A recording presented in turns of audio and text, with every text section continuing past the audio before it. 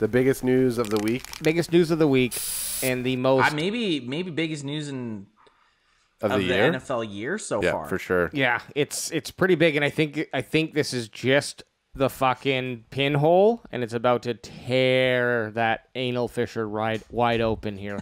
uh, John Gruden, e- John Gruden sent a bunch. Well, I wouldn't say a bunch, but I actually don't know too much about the story.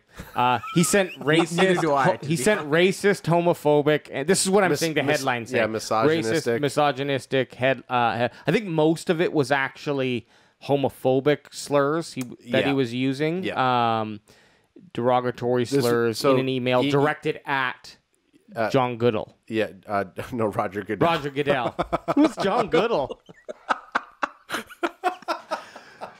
I think I was thinking John Goodall. John Goodell. John Goodell. It's like what? Jo- you were you thinking John Goodman or something like that? John. Go- no, so Roger Goodell. So, so uh, you're thinking. Okay, first before we get into it, uh, Crack Peach. 'em. You know what? Peach. Crack them Whatever. all. Crack 'em if you got 'em. So Or Roger. on butthole. So yeah, what what what happened, Adam? Break so us down. emails back and forth. There was a couple of call outs about Roger Goodell and also the the dude who is um, the main guy for the NFL Players Association. A lot of it stems around 2011 when he was complaining about uh, the fact that they were there was pressure to draft uh, a queer uh, player into the NFL, as well as just making certain you know mis, mis misogynistic comments about women, uh, women ref refs, and then the fact that he called um, Roger Goodell an f bomb, not the fuck bomb, but the other f bomb. Yeah. Um, Just like ju- just being very toxic masculinity and Well, and the thing, the cr- I mean, it obviously whatever coach said it, it'd be terrible, but right now on the Raiders, the first openly uh, homosexual players on the Raiders. So imagine how that guy feels reading about his coach Yeah. email. He- so here's the only um the only thing I'll say, ever say about these things is and I don't know how how recent these were, but I don't think that really matters. 2011. Okay, so 2011. yep. that like we can go ahead and and say what how what we don't really know what goes on in in the actual locker room how John Gruden maybe approached that player or not like he obviously came out as gay and if John Gruden was a um a homophobe, Homophobe? as people are calling him then of course that's going to be probably add some I mean, it, it'd be hard for you not to like shot, hide, hide that. I would think, Yeah. right? Anyways, I don't know enough. I've never been a homophobe, so I don't know. But what my, Well, my this is like you said. This is gonna blow up. I guarantee this isn't the first person No. that this is gonna happen to, or No. the last person that it's gonna No. happen to. D- And- can and- you can you just can you see how how did the emails get leaked? Obviously, the emails got leaked. So one, this is this is also Julian Assange or whatever. pre pre uh, pre Me Too era, where people were you know where where people were a lot more cautious uh, after the Me Too era about what they're sending in emails. So this was back in the time where things like this, you just feel like you could send out a professional email look. and call someone down like that. Like, so a lot of offsides at that time. Probably they never thought that if this email ever got released, that he would have to resign. But the fact is, it's 2021. We do live in a different, uh, a different time than what you know 10 years ago. So it, regardless, uh, it. I mean, without getting into the whole cancel culture, and you know, he he in a professional setting, he was absolutely That's right. on the wrong side. I think that's what we got to look at is like this is your sp- now. All that aside, I don't. You. I- This is, would be a warning to everyone, and this is a, a statement that I'm not. Um, that I never created myself. You never want to meet your heroes because they are real people, and let's be honest. There's some comments that I've shared that I share with friends to this day in chats that if anyone saw them out of context would be yeah. like, oh, but it's because I'm because we I know that they know um yep. where I'm going, and I'm not saying it's anything near what was said Yeah. in these emails. I'm just saying, like, if anyone could read could read some of my messages out of context and not realize, like, I'm being I'm playing a character Yeah. in that in Well, that how message. else was I supposed to take that dick pic that you I- sent? yeah. Hey, just feeling really stiff at the moment. Yeah. No, but but like where where I where so his But that's a, his that, that, clue- that, that's eh, a th- different eh, setting than him sending it to Totally. an NFL Now Player Association guy. now what, So who did he send it to? This is the thing I'm confused about. He did send it to the Art. What was the guy's name? Uh, Roger Goodell. Uh, no, no, no. Gr- exchange emails with Allen. Um, no, he, oh, right, right, right. he.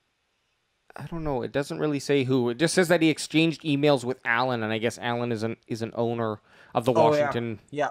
He's yeah. Okay, so right here. So per the Times, Gruden and Allen, who also would include Ed He's Droste, who's a co, co Allen's the owner of the Washington football team. yeah, and then and then Ed Droste is the co-founder of Hooters. Jim McAvey, McVay, an executive who has run the oh. Outback Bowl, and Nick Reader, the founder of the Okay, PDQ restaurants just in the emails. it's stupid of all of them to to have this, but you're right. They didn't know what the hell the we didn't know that. I didn't know that anything I put in Twitter in 2011 was gonna come back and bite me, and I, I good thing I never used it. But when you use the sp- the the no words, the n word, the f word in the email, there's pretty much no coming back from that. Where where I don't think it's fair is to and and I don't know the whole context, but there's another line here where it says like clueless anti-football pussy and they're equating the term pussy to the same as that the F word and the A word. And I don't. That's where I kind of draw a line where it's like, hey, Yeah. some of this stuff you have to have a reasonable head where it's like maybe you don't think men should speak like that or or you think that's not you but the person might think that's toxic masculinity but newsflash like this is the reality of these scenarios Yeah.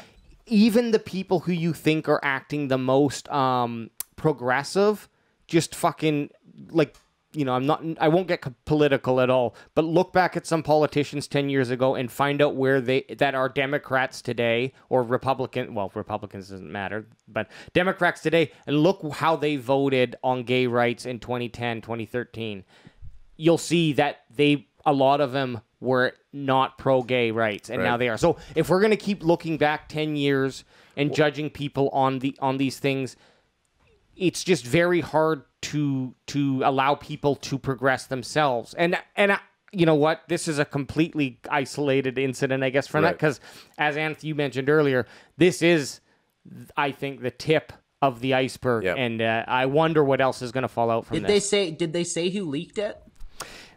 No that's a good question Well, I- you you looking at what I'm about to say. I'll say Yeah. this while you're looking at. It. So the the the fact of the matter is, the the same. Whoa, That was Anth. He's just getting a pizza. jeez, I got I had a weird shift in my audio there for a second. Um, I don't think it's known. Sorry.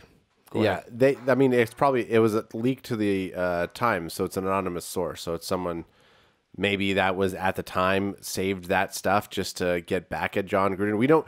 The other thing is we don't know how he is in the locker room. We don't know how we we don't know who you scorn. Like we, there's a lot of scenarios that we don't know about the situation. Maybe at one point Gruden's gonna be able to come back and he's gonna be able to explain it all. But at the end of the day, he's a product of the environment he grew up in. And I don't mean like his home life. I just mean like sports in general. So for mm-hmm. like the last X amount of years, it's locker room talk. That's how people and I'm not saying it's right, but that's Yep, just how that's just what it is. You're you're growing up in that environment. You're talking to other guys. It's that locker room chat. It's those comments that uh, saying the word pussy and like so.